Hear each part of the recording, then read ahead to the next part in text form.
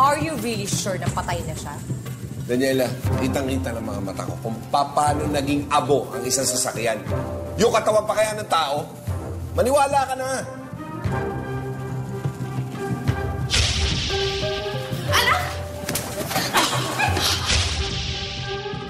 Hindi ko nakita yung katawan niya.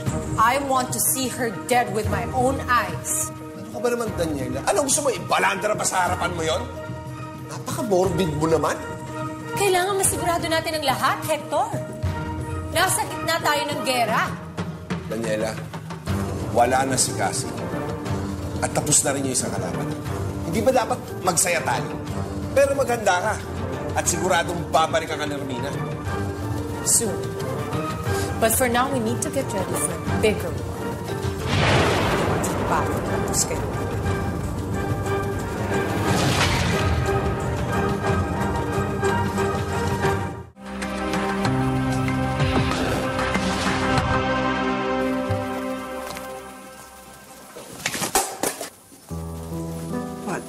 Hindi ka man lang ba mag-sorry? Salamat ka. Alam ko may pinagdadaanan ka ngayon, ha? Uy! Ano? Ano? Uy! Ano? Tama- Ha? Ano ba? Ano? Uy, ano ba yan? Tama na yan! Tigilan nyo nga yan! Susubo ko kayo sa principal. Tara na nga, ta. Saan, ba't nangingialam ka pa? Christoph, tinutulungan lang kita. I don't need help! Lalo na kung galing sa'yo. Dahil sa tatay mo namatay si Cassie.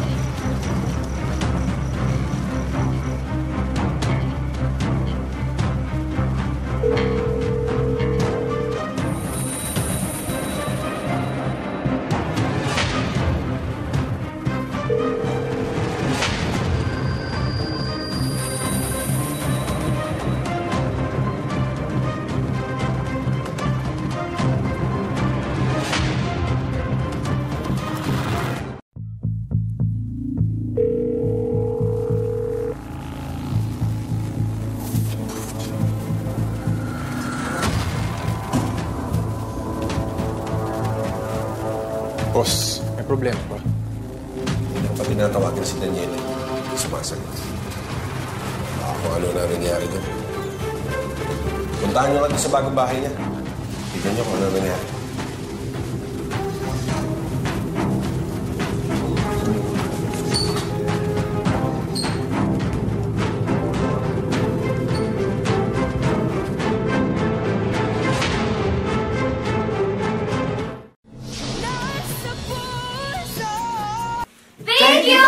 Watching Kanelang Ginto. Don't forget to like, comment, Share our videos, and subscribe to ABS-CBN Entertainment YouTube channel.